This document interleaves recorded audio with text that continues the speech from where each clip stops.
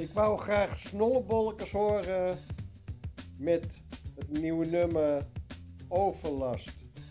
Ik hoop dat iedereen het nummer leuk vindt. En heel veel kijkplezier naar TV Oranje.